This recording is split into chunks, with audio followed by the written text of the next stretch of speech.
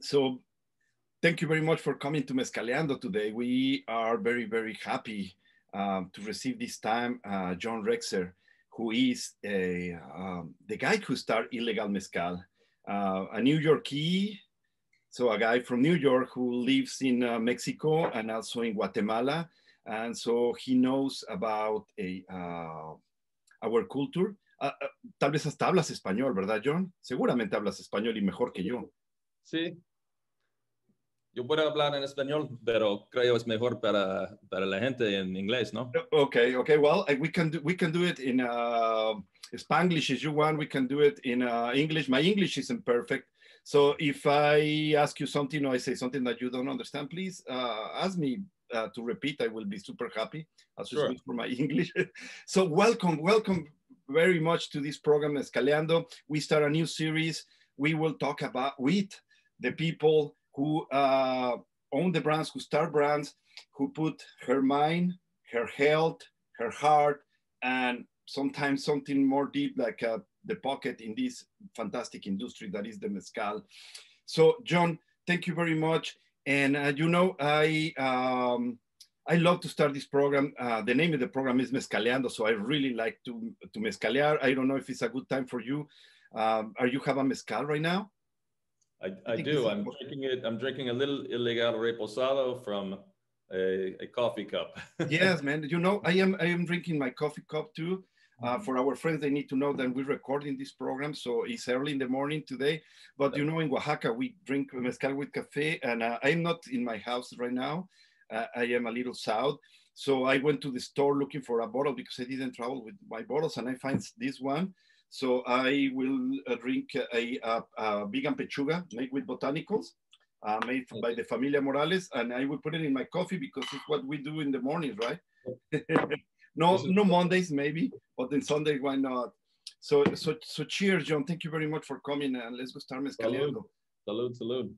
This is very funny that we both started with our with our coffee cups this morning. Yeah, I'm in Dallas, um, I'm in Dallas right now, um, and like you, I'm not in my home, but I'm I'm here visiting up in Texas. Yeah, yeah. Well, a fantastic place. Texas is one of my favorite places to go. Uh, frankly, the sun, the people, and these barbecues, man. Oh man, I really love the ribs and all these fantastic meat pieces of meat that you have there. So, so John, tell us a little bit what we we say something. You know, uh, uh, uh in my opinion, is true. No, everybody have to uh, to be agree with me, but I think you are not looking for mezcal. Mezcal find you so when when mezcal find you, when when when they came in your heart and uh, conquer your mind and say, mm, "Man, you are from here." So you know, back in God, I want to say it was the like mid '90s. I was traveling through Mexico, and um, I was actually exporting some furniture out of Mexico up to the United States, mainly from Puebla, but from other places uh, and having some stuff made also uh, in and around Puebla and Cholula.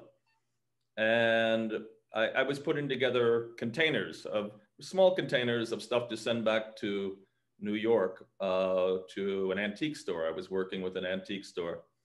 And in between times of sending um, uh, furniture and other things back up to New York, I would travel around Mexico. And I would go to Oaxaca. I would go. I would go over. I go to Veracruz.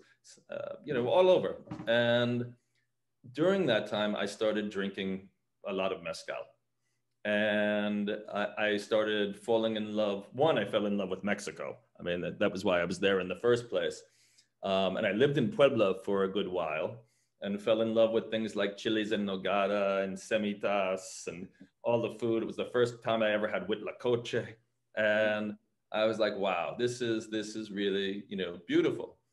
And then I traveled down to Oaxaca, and of course, you know, just fell in love with the countryside and all the different, you know, just the different parts of Oaxaca, right? You know, you can go down to Puerto Escondido, you can be, you know, in in, in mezcal country. And I just really fell in love with sort of the pace of life, but also, and I've talked to people about this, you know, in Mexico, time changes. And I think everybody knows this, that you suddenly, uh, there's another, there's another rhythm, there's another way of, it's, it's part of the light, it's part of the, it's part of um, the culture where you stop and you look at things and things become, at least for me personally, they become more tactile and more visceral and more sensual and more in touch with your with the senses.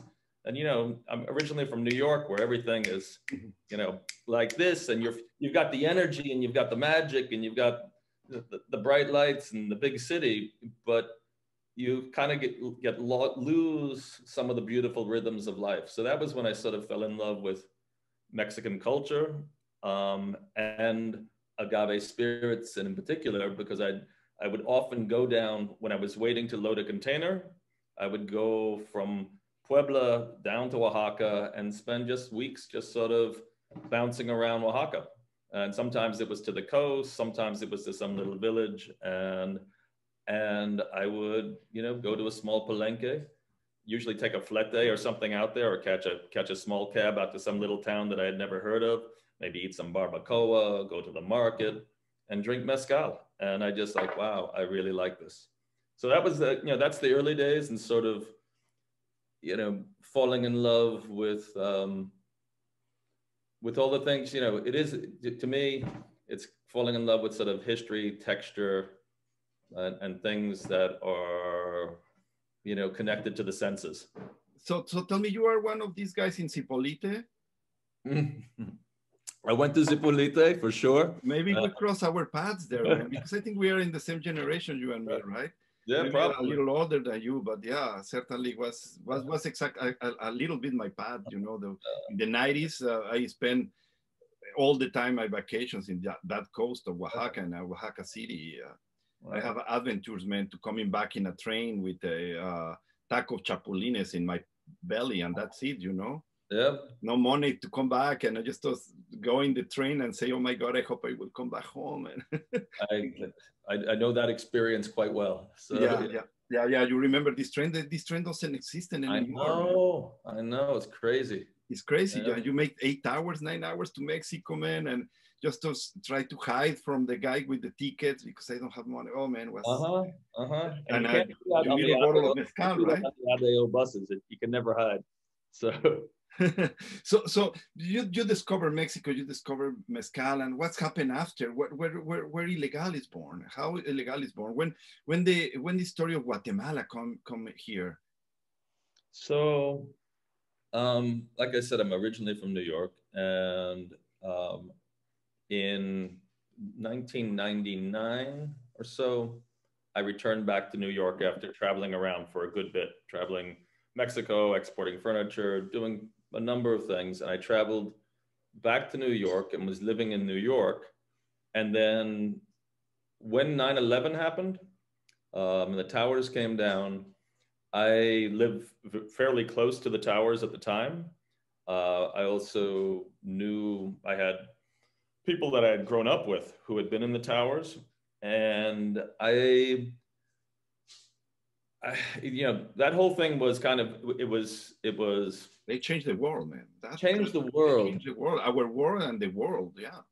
And and there was a, a, a fleeting moment in new york where it actually or at least i thought it actually maybe had woken people up. And because you saw such community in new york city in the the first couple of months after september 11 you know downtown manhattan was closed down um, south of 14th Street, you know, all the way down. You couldn't get a subway, but people were offering people rides in their car.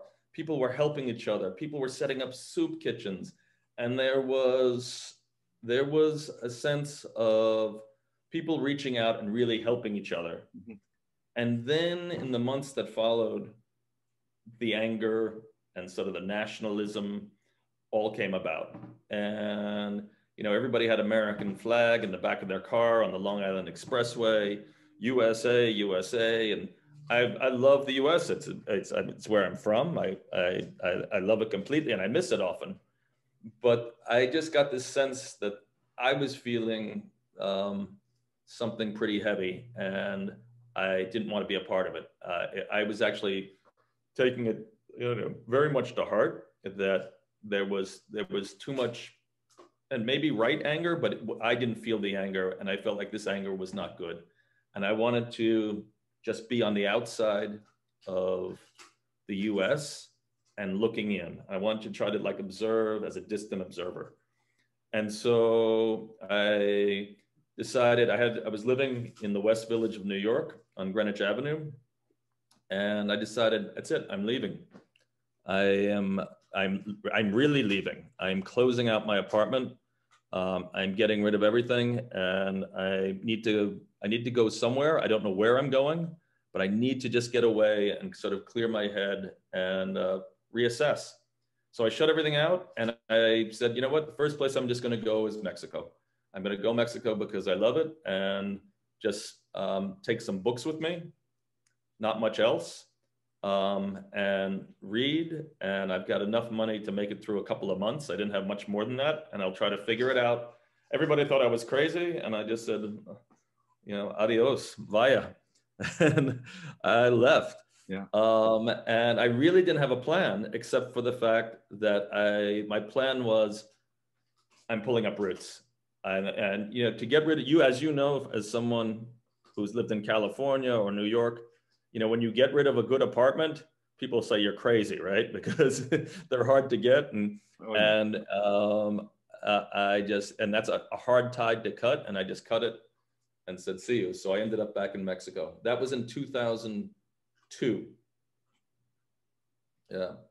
And so from there, um, while living in Mexico, I stayed there, had very, very, uh, really no money. I was living uh, on the beach. And as a lot of, uh, you know, everybody knows Tulum today with all the, you know, the big hotels. And it's oh, like, yeah, yeah. like Cancun. It's so sad what's happening with Tulum, right? Very sad. I, I, What's a paradise? I, it was paradise, man. And I lived in two places. I lived in a, a little place near the ruins on Tulum for $8 a night in a little palapa, uh, sandy floor, hammock, had some books. And then I lived later in a place for $80 a month in between the main road in Tulum and the beach called uh, La Valeta. Mm-hmm. And it was a series of little 10 palapas in the jungle.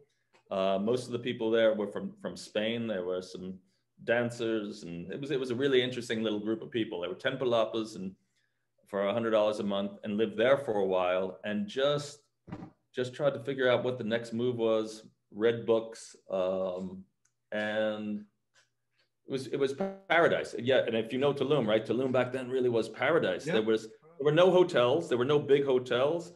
There was a dirt road, two dirt roads, and that was yes, it. And then one leading out to the beach. That's true. Uh, that's true. And uh, was was fantastic the politic they have. They don't want to build nothing bigger than two floors. Nothing. And yeah.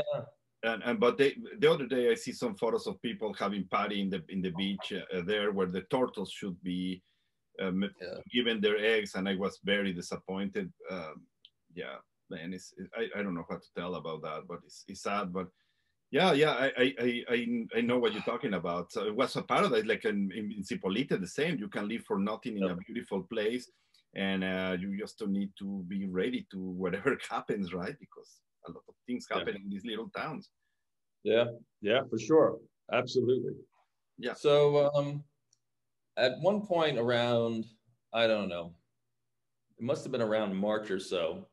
I realized that I'd been in Mexico for a long time and had overstayed my visa.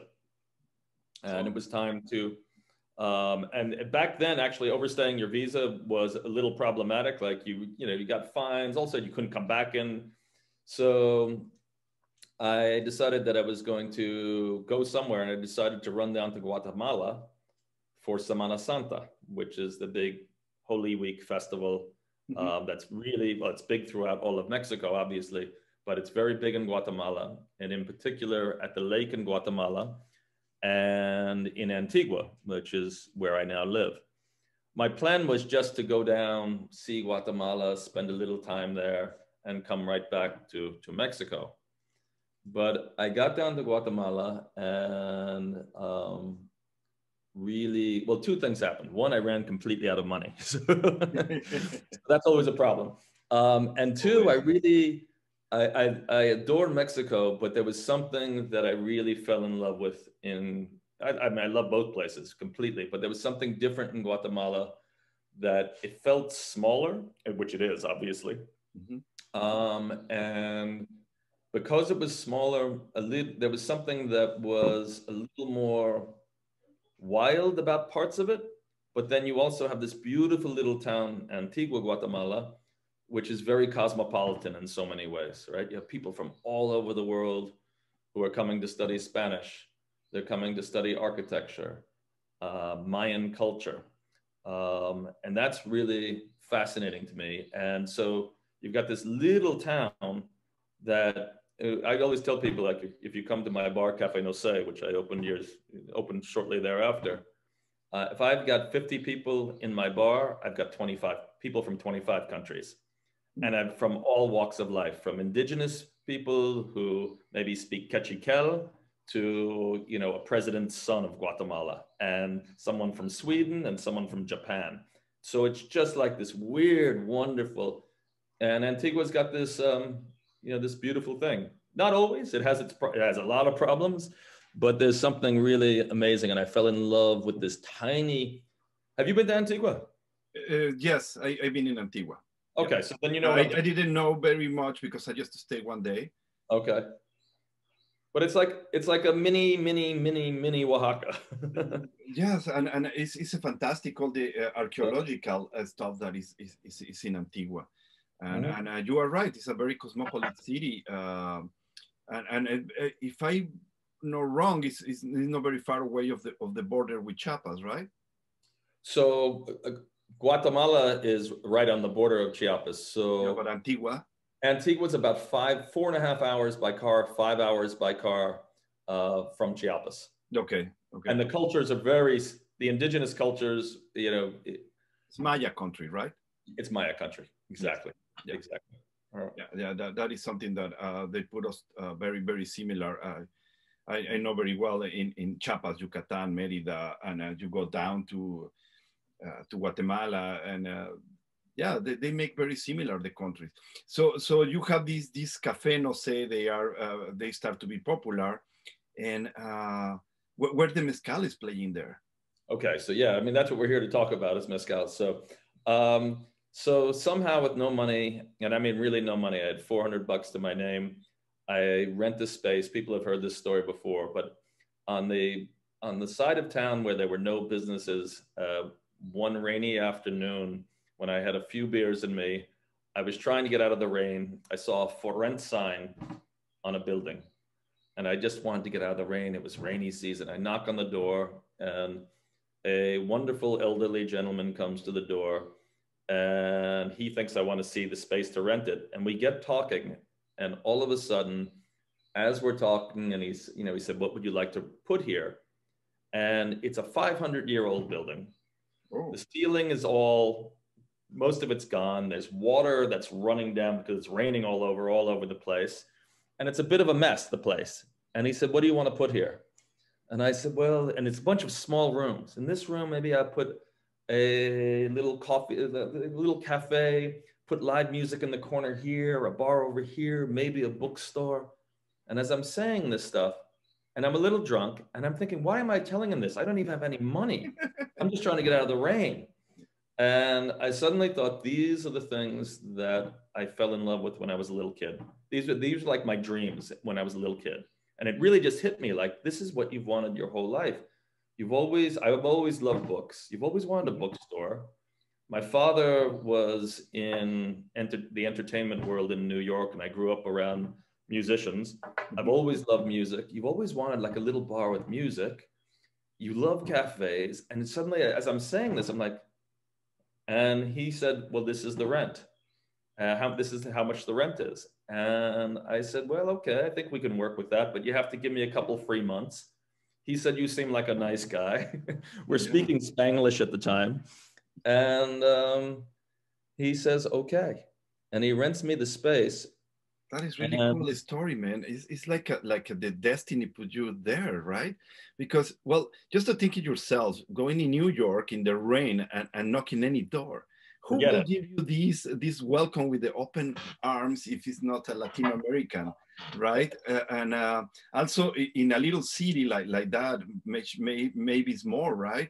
So uh, so sometimes you don't have this idea to to to, to really the destiny put to put you there. I I think you're so right. Like I was at a point of sort of desperation. I was broke, right? Yeah, I yeah, yeah. Broke. Yeah, I, I, know that feeling, man. I know that feeling. And I could go, I could say, all right, I'm going to go back to New York and look for work and do something. And but I had already made a commitment. I'm gone. I'm out of here. And so I was trying to think of like, you know, what do, what do you do? How do you exist in a different? Well, this is probably what everybody who crosses the border from Mexico into the United States. What am I going to do? How do I exist in a different culture? How do I make something happen? You know, um, I'm not comparing my situation to somebody who's crossed the border by any stretch of the imagination. I have a, a lot of privileges. I, I think yes, you you you, you live the the uh, Latin American dream, man. exactly, but I got to go. Yes, but um, I was um, I I I think it's like the point where you take a risk because I was really scared. I was like, I just told this guy I'm going to rent his bar. I have no money. I've been in town in Guatemala about three or four weeks. I know nobody. I have no money. On a drunken whim, suddenly all the things I've ever really wanted to do in my life suddenly just sort of hit me like a like a diamond. Like these are all the things, and now I'm going to do it.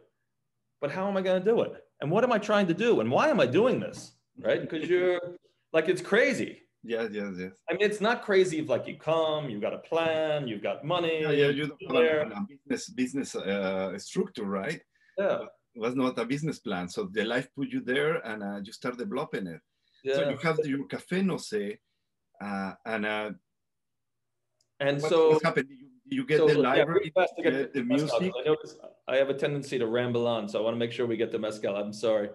Uh, no, no, no you know, we certainly we are talking about mezcal, but what is important for for us to know is uh, who is John Rexer, how they come in scene in the mezcal scene, and how he succeeds. So it's fantastic. Uh, thank you very much for sharing all this. This Is what I want to hear.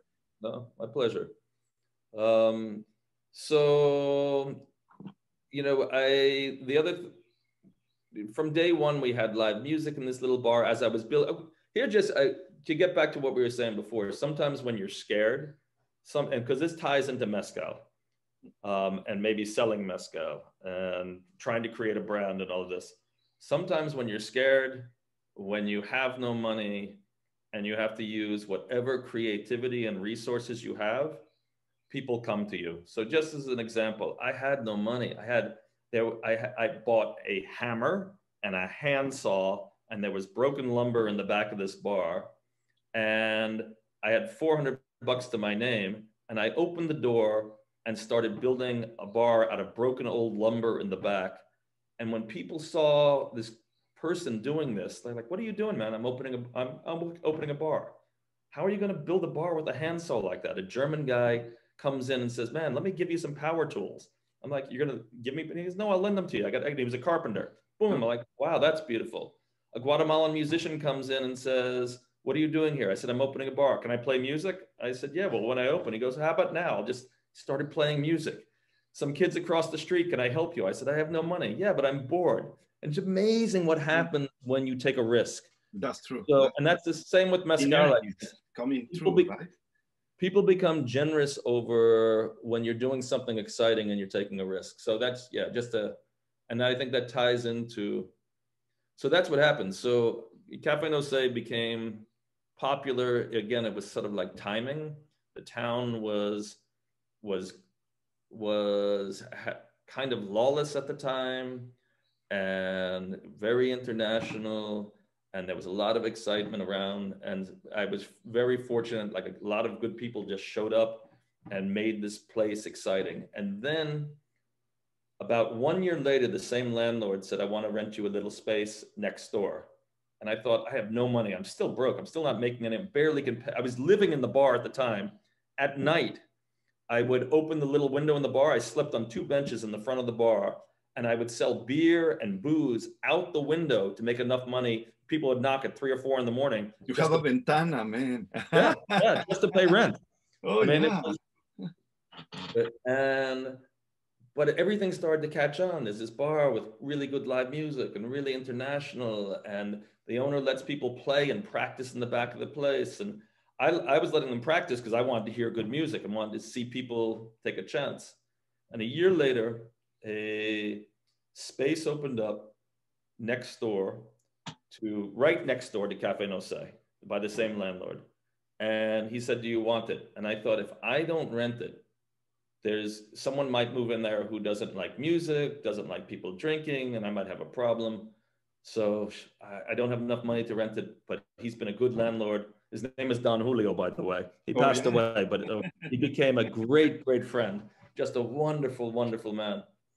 And um, so I rented this other space from Don Julio, and I started to build out the front space as a little, as a little mezcal bar agave spirits. I was going to bring down tequila, mezcal, sotol, bacanora, whatever, everything. And as I'm building it out, Don Julio comes to me and says, "No, but you're next to a school. You can't do that. You have to be you. This it's against the law in Guatemala." And you and I'm like, "Oh no." So I, my dream was to always have a bookstore. So I put the bookstore in front of the mezcal bar so that you either had to come on the street, all you saw was a bookstore. you didn't see this yeah, little okay. mezcal bar. It wasn't a speakeasy. It was a speakeasy. and so you had to come in through this. And I always wanted a bookstore anyway. So I, I, so I set up a little used bookstore. And then behind it was a little mezcal bar. And then from my main bar to get into the mezcal bar, and this is before everybody did the fancy speakeasies in New York or whatever else. Um, I you had to come in through the kitchen, and then later I knocked a hole through the wall, and I had a old refrigerator door that was just lying in the back for years. Uh, that was about you know three and a half feet tall. It's like a mini refrigerator from the 1950s. Yeah. And I cut a hole in the wall, and that became the entrance. I mean, but you know, not like this is not some fancy speakeasy. This is a rusty old refrigerator yeah, door yeah. that, that you have to bend through to go through. Yeah, yeah. So I, I built the space out and I was like, all right, now I need to get some agave spirits to Guatemala. And I was very foolish. I thought, you know, very foolish. I thought at least they'd have tequila in Guatemala. At the time, really all they had was Jose Cuervo. And you could find some old dusty bottles of Monte Alban, dusty. And I was like, shit, I pl- told everybody I'm opening an agave spirits bar. There's nothing here. So that was when I started the journey back up to Oaxaca. And I took the the ADO bus. I took a I, you take a Galgos bus from uh, from Escuintla up to the border at Tecún Umán. You cross from Tecún Umán, which is on the border of Chiapas, um, and then you go to Tapachula. And Tapachula, you catch an catch an ADO Cristobal Colon bus that takes 14 hours. Yes, to Oaxaca to Oaxaca. Yeah, yeah. I, so I did that also. Yes. Yeah. From Chiapas to Oaxaca is wow. Yeah, it's a wow. Yeah, and a you wow. get to watch all these great like kung fu movies at, while you're yes on the bus. It's fantastic. Yeah. Um, so I would take those buses up, and and I was going up back up to Oaxaca that I remembered from years ago, and looking for mezcal. And so what I would do is as the bus was coming into some town, as it crossed the border into Oaxaca, I would pull the cord if I saw like a village over somewhere. You could you know, looking at the bus at six in the morning or five in the morning, because that's when that ADO bus comes mm-hmm. to, towards Oaxaca out of Guatemala. And I'd see something, I'd pull the cord, I'd get off the bus, and I'd walk towards the town. And if I got to the town, I would say, hey, um, you know, who makes mezcal in this village? Does, anybody make mezcal? Like, oh yeah, yeah, my, my uncle makes mezcal or my cousin, or I know somebody who does. Mm-hmm. I'd first sit there for a while, I'd drink some hot chocolate with somebody, you know, and then mm-hmm. and then usually I would get somebody would say, Would you like to see it? Or I'd hire like a you know, a colectivo or a flete, and I'd go to a town and I would see, okay, wow, that's your uncle. That's really nice mezcal. Great. I had a Polaroid camera with me.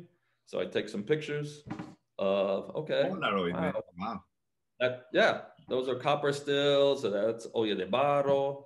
Okay. And oh, how do they make? And I was start, I was learning because I didn't know the whole years ago, I would just go, I drink, I taste it. But now I was sort of learning like, okay, so a process. Okay, there's a nebaro, there's pechuga. Okay, what pechuga? Explain that shit to me. I don't get that, right? That's weird. and start drinking. And if I liked the mezcal, and it was really by like taste, if I liked mezcal and I liked the people, I'd say, okay, I'll buy two liters or five liters. And as you know, you get it like in a nice little green or red mm-hmm. can mm-hmm. of yes, you know, yes, yes. A garrafon. Yes, right? sometimes in shampoo bottles. You're right. yeah, and but I would then take out my notebook. I'd like I, I had a sharpie with me, and I would write like bottle one, and then I'd take out my notebook and I write bottle one is from this town. It's from Santa Catarina Minas, so oh, it's from mm, yeah, yeah. the Sola de Vega. Oh, it's from wherever it was from and I would write the style. I'd write the name of who was the distiller, and I'd collect 30 bottles and come back to, or as many as I could. Usually it was more like 20 bottles of 20 liters. And back then, mezcal, and you know, back in 2002, three, four, a good liter of mezcal, like a great liter of mezcal, was 40 pesos if you were buying at a granel. Mm-hmm. if you were like a, but there was lots of good mezcal for 20 pesos. And I was just like, this is crazy. This is so, takes so long to make. And there's no one's making any money. This is crazy. This is, but anyway, I would take it back to Guatemala. Yeah, man. This is, this is one of the problems of, uh, uh, or, or, maybe, maybe I will not say one of the problems. Maybe this is one of the uh, better things that happened with the mezcal independently of about all the problems that the boom is causing is that finally we bring them richness to all these people to have been doing this spirit for, I will not say years, for centuries. We don't get else than whatever they can trade for, right? Because you, you coming with some nice jacket and they will give you a liter of mezcal for a jacket. Yeah you know, yeah. for some eggs. So so this is this is a really great uh, great point, man. So at that time they get in money because was not a boom. So the mezcal they don't have too much value. So you bring them back to, to Guatemala and, and, and how the how all these tourists and how our friends of Antigua they they they received that. They was happy to drink something that they cannot find anywhere else in the in the full entire country. Yeah, I mean, I think one there was so much mystique around mezcal, and even back then, like people really had no idea. You know, now people know mezcal, or not everybody, but enough people know. But back then, is it mescaline? Is it hallucinogenic? Mm-hmm. You know, I hear that. I hear that also. and you're bringing it back in a bottle that is, you know, would bring it back in a garrafon. I put it in some other bottle, put a handmade label on it, and people are like, "What are we drinking?" You know. And then I'd show them Polaroid pictures and like, "Wow, man, that's where that's from." And then so people became, uh, and I had a lot of friends who loved my bar, so I was very enthusiastic about it also, right? You know, like you got to check this out. And people loved, I mean, just loved it. They loved the stories. Can I I go up with you. Next time I go up, you know, if you can only bring back 20 bottles now, if I come up back, we can bring back 40 and I can help you because they wanted to see Oaxaca. Because, you know, mm. you're Mexican. We think every, you know, I've lived down in Guatemala for so long and spent so much time in Mexico. We think everybody knows it, but, you know, most hmm. foreigners know Cancun, Mexico City, San Miguel Allende. They don't know Mexico. They don't know, they know oh, Baja California. Yeah and they don't know this whole other beautiful part of the country and so so the reception was really really good plus um, the, my mezcal bar my little agave spirits bar because back then we were calling it the tequila bar the mezcal bar agave bar we didn't even really have a name for it in the beginning was it's a small little space and we i started out saying everybody has to have a two shot minimum and I know people say you don't shoot mezcal or whatever else, but I meant you have two drinks. Yeah, yeah, yeah. And the reason I wanted that is I've always believed in like you need to figure out how to get people to like break the ice and create a little craziness Mhm, mhm. to like get people to get the energy, right? Yeah, yeah, yeah. And Get, so- get, get the mezcal inside of their of their system. Yeah, get, yeah, like Agave go to the heart. yeah, I'm with you. So, Yeah, yeah, they go directly to the heart of anyone. So, yep, nice things can happen, but also they can happen where very, very tough, right? Yeah, it's very passionate drink. so we had a two shot minimum. Like you come in, you know, and you know the only way you could not have two shots is if if you were pregnant. That was it.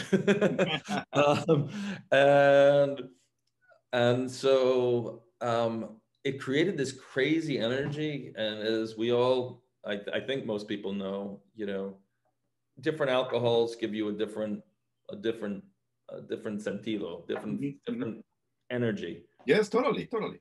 Totally. And you want to dance outside, you need to get rum there, right? If Yep. you are in a date, get mezcal. It's easy. Yep. The things Yep. are very, very easy after that. Exactly. Yeah. So, um, so it was it was really cool. I mean, it was really good to see that suddenly the energy that it created, and there was a lot of people who were like, "I love this. Uh, can I be your mezcal bartender? This uh, can I come up with? Can I try, come with you?" Um, and I was like, "Yeah, I would love to show you what I why I love mezcal, why I love the, why I fell in love with it." And I was the more I thought about, it, like originally, like I didn't you don't deconstruct why you fall in love with something. You're just like, but after a while, you suddenly think, oh, yeah, why do I like this? I like this because it's, it's, it's so the opposite of the modern world.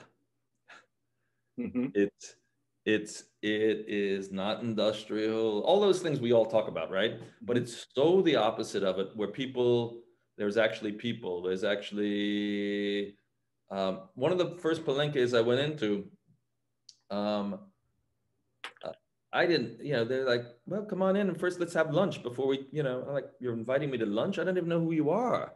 Mhm. And, you know, we have lunch, we sit down, I meet the whole family. And two hours later, then, okay, let's talk about Mezcal. And this is in 2003 or four, you know, and so many of those experiences that is just, it's a different Mexico. It's a different world. For, Yes, yes. It- it- when you talk business with a Latino guy, normally they, they can be two hours at least conversation.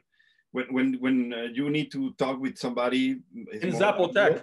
I know it's just that you go meet him, talk about the business, 30 minutes, goodbye, nice to meet you. But with the Latino people that uh, you need to know the name of the photos of all their family, you need to know where they come from. They want to know where you come from.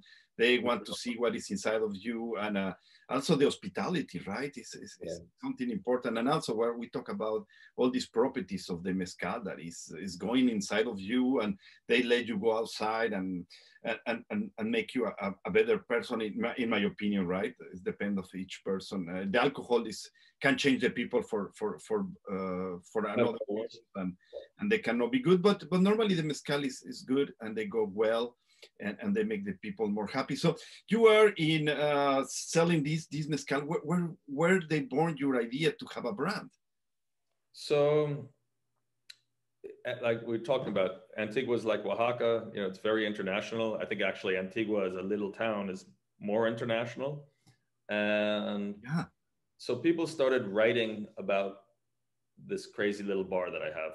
Um, and when I say I have, I mean it's my bar, but it's like the musicians and my bartenders who really kind of made it famous because they did beautiful things there, and and the people who came into the bar and people from Antigua, and so so my bar started getting written up in the New York Times, the Financial Times, it's all sorts of things as this crazy little bar that um, has live music seven days a week from all over the world, that has a bookstore, that runs a crazy poker game from nine o'clock at night until nine o'clock in the morning, two nights a week, um, and some amazing mezcal from Oaxaca.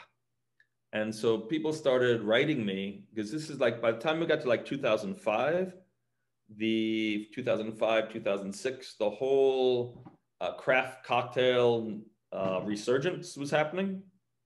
And people started to read it, read this. And I got emails and phone calls. Hey, can we get your brand of mezcal? And I was like, I don't have a brand of mezcal. Um, what I have is beautiful mezcals that I've liked, that I've sort of hand selected from different towns that I'm in love with. But happy to send you a bottle uh, to you up in New York or California or London or Chicago, because it really happened like all the time. I've got customers who are going back. Uh, I'll send you two bottles. They'll be like in an old Jack Daniels bottle, but don't you worry, or whatever. I put them in some bottle and put a label on it, right? You know? Yeah, yeah. And send it up. And I, this happened a lot. And I started thinking, like, this is interesting. There, there's great mezcal in Oaxaca um, and really beautiful distillers, palenqueros, mezcaleros, who are really making beautiful mezcal, but it doesn't make it out of. And I don't know everything about it. I actually know very little, but I know some producers that I like. And maybe I should start thinking about making a brand. Let's see. It, it's interesting because people are asking me for it. And so I sat down and thought, okay, this is, you know, wow, you got something small, really, really small 200 liter, 250 liter copper stills, smaller olla de barro. How do you make a brand out of that without fucking up the thing you fell in love with, right? Mm-hmm. Because you also don't want to destroy the beautiful thing you fell in love with. So I thought, all right, first of all, all the mezcal that I'm bringing into Guatemala is uncertified. It's um, it's it is unbottled. Really, some of it was bottled, but most of it was a granel. Yeah, yeah, right? just liquid. And yeah, two liters. And, yeah, yeah. And so first, I have to get it legal into Guatemala because I was, you know, let's just say I was not passing the border in the most, um, you know, legal way. Exactly. so, uh, um, so I thought, let's first do this really slowly. Let's see if we can work to we I knew the CRM was in process and brands were not brands and a few people were getting certified for export, but that was just really developing back in 2003, 4. It was very early still. Um, and let's see if the I can get it into Guatemala legally. And let's just learn the process of importation a little bit because I'm a bar owner, but I don't know anything about importation, exportation. I know I know it from from furniture, but I don't know anything about it for liquor. Mm-hmm. And um, and I don't know if any of these people I'm working with want to grow big or even have the ability. And so let's just poco a poco. No hay prisa tranquilo, Camilo. Yeah, yeah, yeah. and um, so that's what I did. So I, I grabbed one or two friends who were working in the bar and I said, you know, a couple of them really loved the mezcal. And I said, you know, maybe we're going to do this. We're going to do it really slowly. And let's first see if we can get it into Guatemala. Um, let's see if we can find people that we like to work with and trust. And this is going to take time. It's not going to happen overnight. I don't have any money. I'm still having trouble paying my bills in the bar. Mm-hmm. Um, I mean, really, like, you know, like it's every month, like, okay, whew, we just made it, right? You know, that kind of thing. I'm not paying myself any money. I think I had just finally moved out of living in the bar, sleeping on benches. You know, this was crazy. Um, so let's do this really slowly. Let's develop the label ourselves, the bottle ourselves. Let's see what people like in the little tequila mezcal bar and see what people see if they like the mezcal. Let's just chill. Let's do it. Let's chill and not chill because I'm also still a New Yorker, right? So let's build, you just start build something, right? Yeah, yeah. Build you build with uh, time. It's, it's, it's a nice thing that yeah. maybe don't have too much money help to do right to say okay let's go take it easy take it easy because they will be much better for yeah. for me uh, and, yeah. and go very fast yeah so that was really where it all began and then by about 2006 7 i was like wow we are really one there's a lot of people who are really interested in mezcal a lot. It was the it was the world of of of craft cocktail mixology. Everybody was looking for the real, authentic spirits and what are left because that whole group of people really cared about quality and cared about all the things that we should care about, right? You know, transparency, sustainability, all of those things, and taste. And so, so we just worked slowly, and um, in I don't know what year it was, maybe 2009, a mixologist had won a big, big contest in New York with the Star Chefs Award, which is a big thing for chefs across the United States. Um, and it was the first time, I, I, believe it was the first time they had invited a mixologist into the Star Chefs Award uh, because mixology was becoming big at that point. And he had won with a cocktail that he had put Ilegal in. The only problem was I had named the, I had already named the brand I was going to create Ilegal because I had, as lots of people know and have heard about, you know, we crossed the border a lot of times in a lot of different ways, not all that legally, to get mezcal into Guatemala. Um, and I had made up labels that said Ilegal, but we were not certified. We had nothing like together, but I had sent him bottles. He had won the Star Chefs Award and asked me to bring, I don't know, five, ten cases to New York for a big, massive celebration event with all the star chefs. And at that moment, I suddenly realized, wow, we've really created something. And we got Mezcal to New York. And while in New York, um, with our Mezcal, a distributor approached us or an importer approached us and said, Would you like to import through us? and we weren't ready for it. Um, but I was, I was like, okay, this is great. This is really okay. Let's let's get ourselves in position to to do this. Yeah, you, you already noticed that in in United States at that time, uh, the mezcal started being selling in, in in the shelves. In 2000 yeah when the, this contest happened 2004 you said? No no this was in 2009 and no there was very there was almost no real as you probably know right? Because you guys were probably... we arrived in 2010 with the first bottle what we created in 2008 because we noticed we noticed that uh, was not too many brands yet. Right. uh, yeah my me and my friends we tried to do that in uh, when the tequila when we were young but when you are young you don't have money and uh, it was impossible. And when we finally finish uh, whatever is your first step on life right uh, we noticed that uh, the tequila was already there and it was impossible to attract so so mezcal was born and, and we we've been in love and we did it but uh, yes it's, it's, a, it's a little bit in the same age the same yeah. year yeah so from there to to to to have this fantastic creativity. You know, I, I think uh, your marketing is fantastic. Is the way that you touch the buttons of the people with each time that you make uh, some marketing things outside. You know, the rabbit, uh, the, even the name Ilegal or uh, Trump es un pendejo.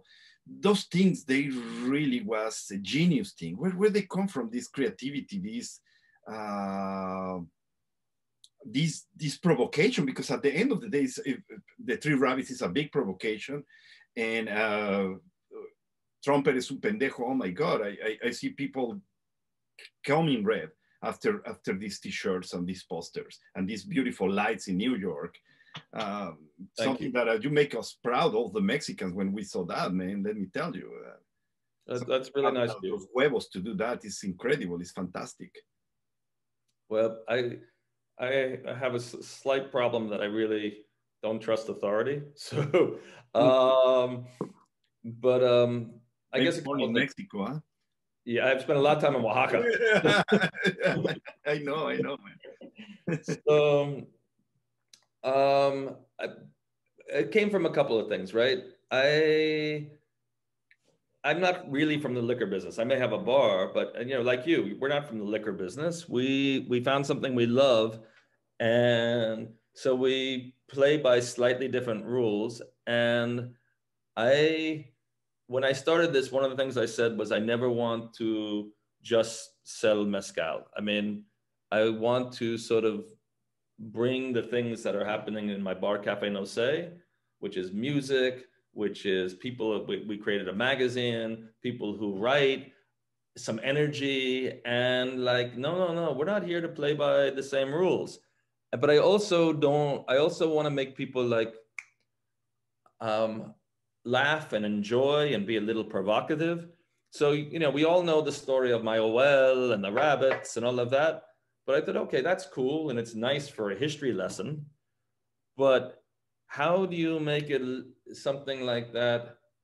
Um, one, how do you promote your brand when you have no money? Because we also had no no money when we were starting Ilegal. Well, you need. I was like, all right, let's make people laugh, make something provocative, something that connects to the story of Mayahuel. So when suddenly someone says, "What are the three rabbits about, man?" Well, and how does that? What's that about Mesca? Well, but they've already laughed and they've already like that's cool and that's bold, and then you can start talking about the history of Mescal through Mayahuel because people have asked the first question. If you want to, if you don't want to, if you just want to say, well, you know, there's rabbits and well, you know, so it was how could you do a lot with a little money? How could you connect to people by being making them stop and look? Because if you can't make them stop and look, they're not going to pay attention. How are you going to like brighten up their day and make them laugh a little bit? Because at the end of the day, you know, you want people to have a little more spark in their life. And so put that all in one package. So the idea of the three rabbits was, you know, I read about the story about Mayahuel. It's an interesting story. You see Mexican you telenovela, man.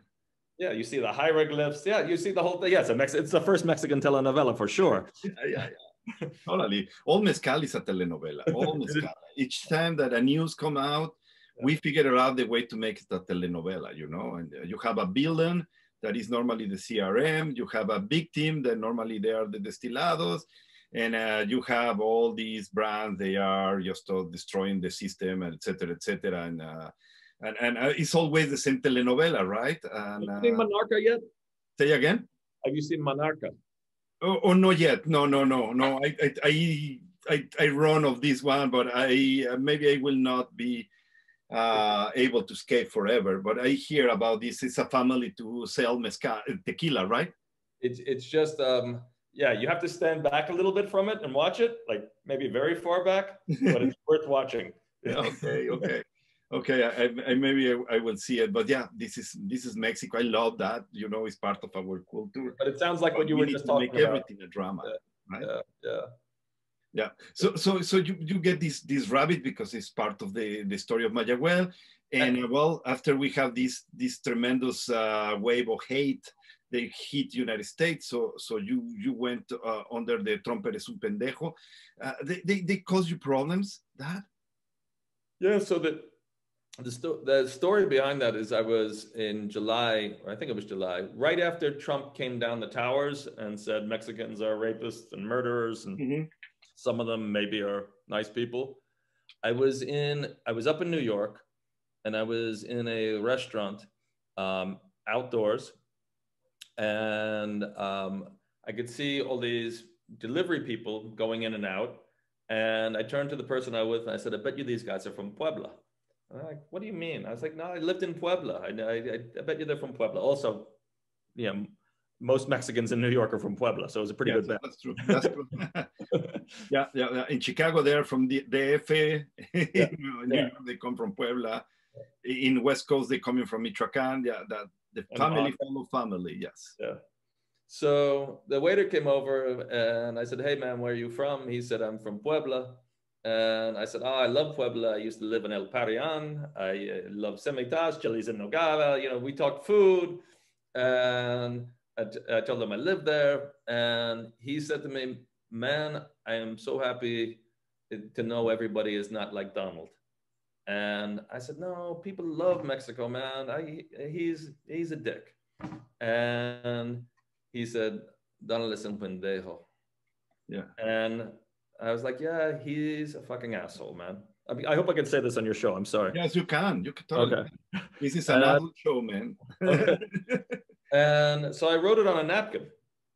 And and I just felt I could see like the real hurt in his face. And I thought, Now, this is in 2015.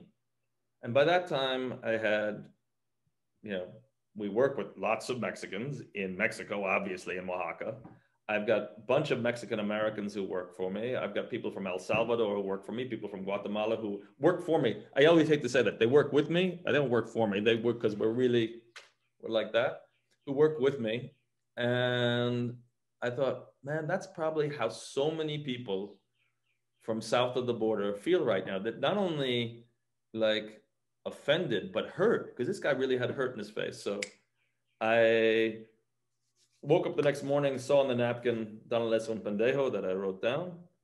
And I called my niece Kaylin, who works with me, who's our marketing, our chief marketing person. She does makes all these things beautiful. I said, come over, we got to sit down and talk. I want to make a some street graffiti that's like an outline of Donald, and I want to say Donald es un pendejo. And we made these posters. And Herminio Torres, who works for me, who's Mexican American and good friend, who's been with Ilegal for I don't know how many years, 12 years, 10 years, something like that, wrote me and said, No, no, no, eres. Put it in his face, Donald, you are an asshole. So we changed it and we put up first 500, then a 1,000, then 2,000 posters. And we did it ourselves, all by ourselves. Wow. Across Manhattan. And that was how that came. But it wasn't like a marketing campaign. Just like the rabbits weren't really a marketing campaign. I thought, like, that's cool. That'll make people, I'm not thinking about making campaigns. I'm thinking, like, that's cool. That'll make people laugh. Or that's cool. And that'll make people think. Or mm-hmm. that's cool. And it's like, how dare you say this about people dude, and we're gonna shove it in your face, kind of thing. Wow, that, that is that is really really cool, man. Really yeah. cool. Uh, uh, you really touch a, uh, a nerve there, and and it's, it's, it's, it's great. It's great. So, uh, question that I'm pretty sure everybody want to know: Why reposado? Why añejo? And uh, when uh, when the espadín I, I studied that a lot, so I can tell you that reposado and añejo, they are totally part of the tradition. So it, it's just a stupid thing to say that reposados and añejos are not traditional because, well, the, the mezcal was transported in wood since day one. So, so uh, I, I, will not go there, but what I want to see is why you thinking in, was because you was try to relate a little bit uh, uh with the tequila what was what was your intention to get the reposado and añejo, obviously the blanco, and bring them like that? Okay, so the first part that you just said, just really quick, um, is it's definitely part of the tradition, mm-hmm. and mm-hmm. everywhere I went, I would say, you know, five out of ten palenques that I went to over the years, they'd say, "Hey, now you have to try this," and they'd take me to some place where they had something in a room that was aged. Yeah. So, um, but here's why in, and maybe this talks about for all brands trying to sell mezcal. I looked and I saw other brands that are good brands bringing in seven Silvestres, 10 Silvestres, five Silvestres. And I thought, okay, first of all, I like Espadin.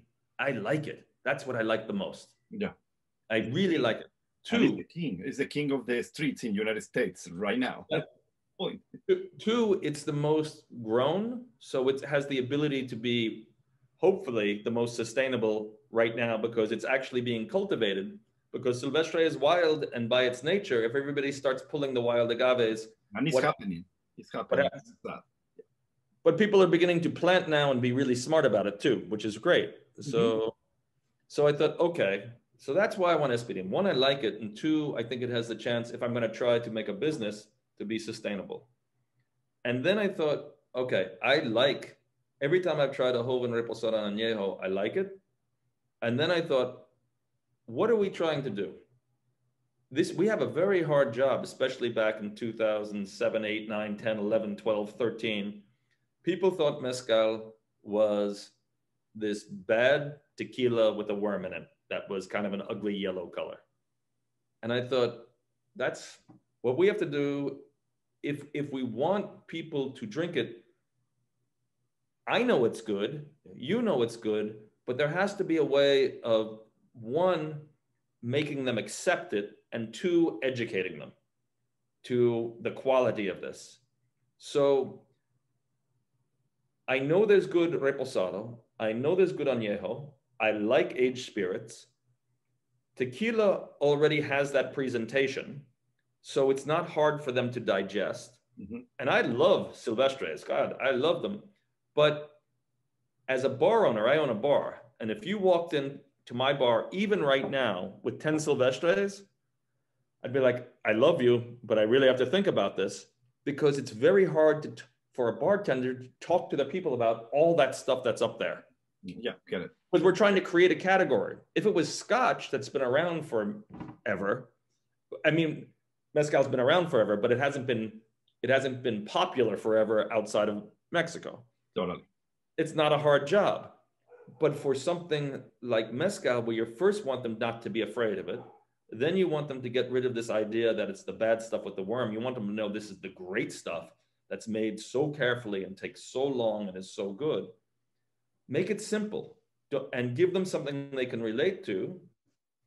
Um, and something that, well, I drink whiskey, man. I don't drink white spirits. Well, we have a beautiful reposado.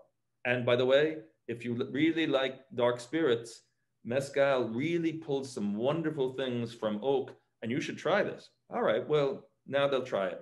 Two, because I, I think you told me this call was really about maybe how about marketing for for brands.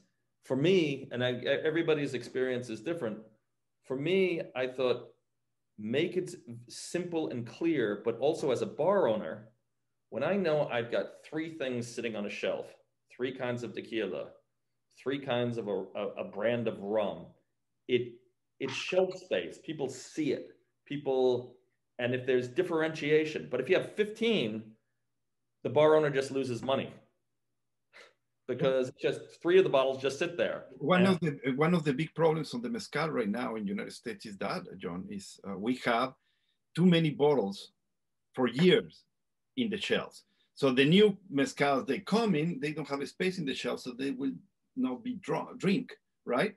And, uh, and, and you still have it. A big production in Mexico, people exporting to the United States, but the bottles are inside of the boxes, inside of the warehouse, you know, in the shelf, because five years ago, the people buy the full collection of each brand with 20, 15, eight, seven mezcals, and the people will not buy a 70, 50, 60 dollar shot. Right.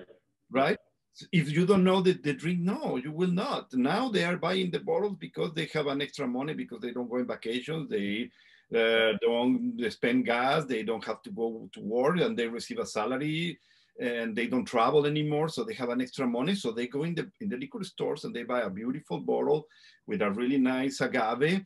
But in the bars, if you don't know the brand, if you don't have a lot of money, you will not pay a fifty dollar shot. You know, normally the people spend between 10 and 15 dollars. If you are a little more wealthy and uh, you can pay 20, 25, but um, going another extreme is, is only for your birthday, right? So you have all these bottles stop in the bars with the beautiful agaves, a beautiful arroqueños and tepeztates made in the old fashioned. Then nobody's drinking and uh, the people still produce in Mexico. So we are not sustainable right now. I, I, I think that's again as a bar owner is so I, I think of things in a bunch of different ways, right? Because we have Ilegal and I have I have a bar in Oaxaca and I've got bar two bars in, in Guatemala and and have partnered in bars in other places. And ideally you want to buy everything, but then you sit there and you say, that stuff that's sitting there is not moving is just cash money sitting on my shelf that could go to all sorts of better things and is jeopardizing my business. Mm-hmm. And then what happens, and it, we all know this happens if you're in a tienda, if you're in off premise, if you're in, and it doesn't turn, and let's say three brands of mezcal don't sell. The next time someone comes in with a great mezcal at a good price, the tienda says, I don't want it. I have mezcals that don't sell. Mm-hmm. Mm-hmm. And it's not because the mezcal is not good. It's because in this world we, that we live in, especially when you, I think, this is my, one man's opinion, when you start something, is if you have too many options, you get confused. And if every time you try a mezcal because you're just learning about mezcal, one day, oh, I'm going to buy a bottle of mezcal. You don't know enough. You're not. You're not a nerd. You're just going in to buy it because you've heard about it, and you grab an Arroqueño at 48%, and you're like, what? I can't drink that. You wouldn't go and do that with like a really smoky, peaty yes, yes, scotch, right? You'd start out with something that like a, a Johnnie Walker Red or something, so that so that people get comfortable with the category first. And and and you wouldn't give people a hundred things to choose from. You'd say, here are five, or here are three, or here's one. And and and so I think something I think all the Silvestres have a place. I think the Silvestres uh, and the varietals are wonderful and they are going to do really, really well. Um, but my position was for now, stick with something that makes people, that is so clear. Joven Reposado Añejo, Espadin, a mouth, not a lot of smoke because as I spoke to, and I, as I would travel through Oaxaca, so many people would say, no, I would taste it. Like, there's no smoke. No. Why would you want to taste smoke? Well, I thought mezcal was smoky. No, you want to taste the agave. Mm-hmm. You want to, the plant takes six, eight, ten years to grow. Why do you want to, or 20 years? Mm-hmm. You don't want to cover the flavor with smoke. I'm like, okay, I get it. Smoke should be like an afterthought. I get it. Okay, I'm tasting. So I thought, exactly. Why not give people this beautiful expression of the flavor of agave make it really simple and clean to understand. And if we do that with Ilegal, and there are other brands doing the same thing, who have like one, one, one expression or two or three, if we do that and are successful at that, people will get to know mezcal. And if we're consistently, you're tasting good agave and it's smooth, and you can put it in a cocktail or you can drink it neat, then the varietals over time the silvestres, people will also experiment and fall in love with, and it helps everybody. Mm-hmm. But if if there aren't one, two, three brands that succeed in getting everybody to like mezcal, then nobody succeeds.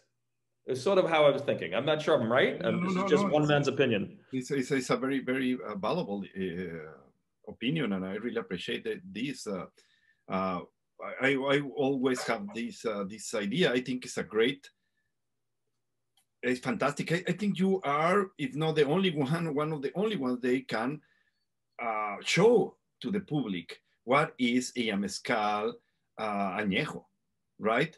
Uh, Reposado, I love Reposados. we are not, we are less brands, but we are some other brands that we, we promote a, a Reposado in the market. That is good. But it's, it's, it's, a great, it's a great point, man. The, the Spadin still be the boss, the big boss is the most sustainable. Certainly now all the fields of Oaxaca, now Michoacan are just a field of, of, of, agaves. So, so we need to, to, uh, to using those, right? Uh, so, so I think it was, was, a, was a great idea. So, uh, what what what is what is coming? Uh, what what is the next uh, step? Uh, we are just to finish this. Uh, we we start we talking that before we start this program about the COVID. Uh, was a big hit for our hearts, for our families, for our growing, for everything. And now we can see the light at the end of the tunnel. Uh, we are not out yet, but we are. So, in, in your opinion, what follow? What what what are your plans, John? What what where are you going in uh, as, as a person and where are you going as a brand? God i don't know. Um, well it's, it's very valid a very very valid answer man. No I, I actually have some thoughts on this. So and it's not just for um, Ilegal because i truly believe if Ilegal and one or two other brands are the only brands out there, we lose. The whole category, there's one, there's so much good mezcal out there and so many good. Oaxaca's a beautiful brand, Tosba's a beautiful brand, Real Minero. You can just go on the list. Um, I'm, I'm in, I was in Dallas, I'm in Dallas and I was in a restaurant yesterday and um, it, it's you know there's lots of mezcals. I was in a bar. I had never had Banhez. Um, I don't know anything about Banhez, but I tried an Espadin Barril, and because they didn't have Ilegal, and that was the only mezcal they had, and I was like, all right, I'm enjoying this. This is good, and the price was good. This is interesting. Okay, don't know. I don't know anything. Here's my my feeling is that agave for for people who are making mezcal i believe that it's con- going to continue to grow. I can see and we can all know the investments of like big companies and all of that that's happening down there. And i truly am trying we're working. You can ask gilbert you can ask everybody to make sure that the thing we fell in love with as i said earlier you help stay the beautiful thing you fell in love with by not letting it become industrial, by caring about the environment, learning from some of the problems and mistakes up in Jalisco, like with biodiversity and all of that. No, you have to have biodiversity. Otherwise, you mess up your you mess up the whole area.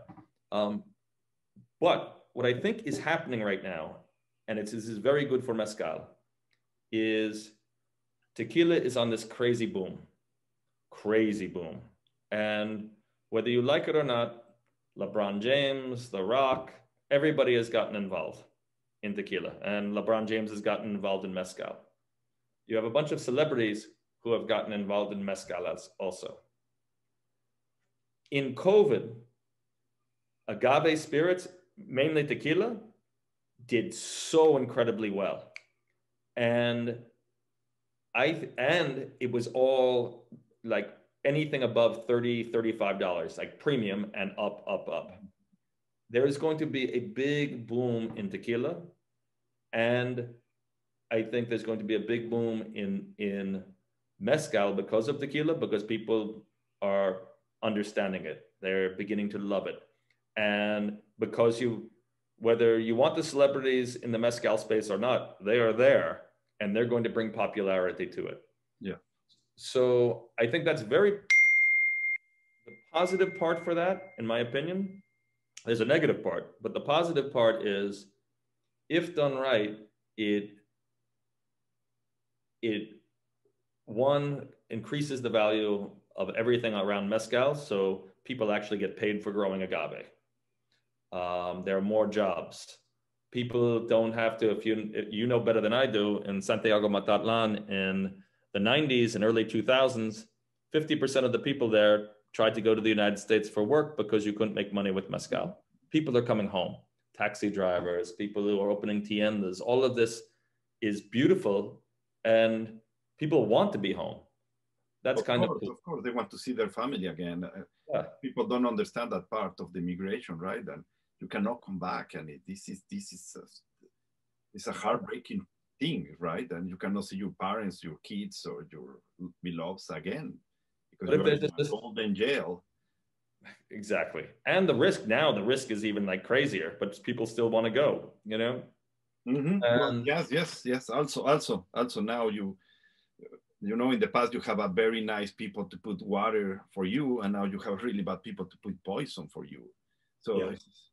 It's, uh, yep. it's, crazy. It's crazy it's crazy. And, and, and so the mezcal, I know they put their little uh, piece of sand to help uh, the communities to stay together, to don't have to come or go to the United States for necessity. Um, the master distillers are coming back to their towns because no, the, the mezcal is working for them and uh, they are making money with that. And this is this is incredible. This is this is a really nice uh, part of the social justice because for years and years and years was the end of our social uh, communities, social organization. And now, even if they still as a, a lot of them indigenous and a very uh, um, how can I say that? And, and, you know, Mexico is, is also a very racist uh, society. So uh, now these these people have also the possibility to uh, growing economically and, and getting out of, of, of all these um, things that happen around them. So I, this, is, something that I celebrate in mezcal, and it's, it's happening thanks of people as you, John. So thank you very much. You know, your uh, testimonial today is a very valuable. I, I, don't know how to thank you for for giving us to us and and um, and share all these fantastic opinions. Thank you. I, other way around. Thank you. I've, I've been um, I've been really lucky to somehow um, you know fall into Mexico and, and then fall into Oaxaca. And a, a lot of this was, um, as you said, you know, by chance. And um, thank you because it's been, it's, it's been hard. It's been crazy. There have been times when I thought, what the hell am I doing? This is not going to work. Um, and all I can say is, um, you know, as, I think, can I end this in a certain way? Because I just want to say something. It's like, there's a real double-edged sword of like mezcal becoming commercialized and big in the world and do destroy the beautiful thing that everybody really cares about in Oaxaca and everywhere else, right? Does it become industrial or whatever else? And I think that there's a lot of things that are very positive about mezcal becoming popularized because it it it creates jobs it brings people back to community it brings back the tradition of mezcal because when i was there in 2002 3 and in the 90s that most of the palenques were closed because no one could make any money. Yeah. and now family businesses are coming back. That and the tradition is coming back. And people often think commercialization is going to kill the tradition. It could. And so that's the other part that we have to be careful about. I think that your brand, our brand, a bunch of good brands somehow have to work together to try to figure out how to make it sustainable long term, make sure everybody from the guys cutting the agave to the bartenders all the way at the other end are actually making some money so that it's everybody sustainable in here. It's hard. And that the the respect for the tradition um, stays in place meaning you really care about if you're artisanal mezcal or if you're traditional mezcal, that you really live up to those to those things um, so that because I think the value of mezcal as a commercial product, something that you're going to sell anywhere in the world, the value is that it's actually done the way you say you're going to make it and really respects the things you care about. And that's the that's eso es el oro. Mm-hmm, mm-hmm. De acuerdo, de acuerdo. Yeah. De acuerdo, and, and uh, yeah, yeah, I, I, I, totally agree with you. We need to, to preserve that and uh, see the way that we can all work together. Uh, right now, we have two kinds of, of mezcals, and you have the mezcal of, uh, I call mezcal de autor, a mezcal they are made by a, master distiller, but you also have a mezcal made by a chemistry. And uh, sometimes you don't notice the difference. Uh, so it's, it's incredible how, how, where we going. I don't know where we're going. I really, uh, I don't know where we're going really. Uh, I guess we will, the, the category will, it will be popular and I hope they can keep their soul because when the money is around, uh, sometimes the soul is, uh, the soul of something is for sale and, and this is no good for the, this category and this fantastic product. But let's go see what's happened. I, I really hope I, I, can, I can cross my path with you very soon uh, yeah. Maybe it's a good time for me to come back to Antigua, or maybe uh, maybe see you in Oaxaca uh, one of these days, or maybe when you come back in Texas or New York. Cool, man. I'll be in I'll be in um, Oaxaca around the 14th of April, and I'll be in Texas around the 30th of March. So I will. Uh, I'll, I'll just drop you a line, and, and if we can cross paths, we'll figure it out, or we'll figure it out later. Cool. Yeah, of course, of course, of course, and uh, and uh, well, I, am I'm, I'm sure I will still see your your uh, fantastic mezcal everywhere, and um, and your people that is fantastic people. Thank you very much, uh, John, for receiving me for for talking to us about uh, your experience and everything. Thank you, thank you so much, and I wish you the best of the lucks and. Um, maybe we will have uh, the opportunity also to make another program one of these days. Thank you, man. Un placer. Bueno.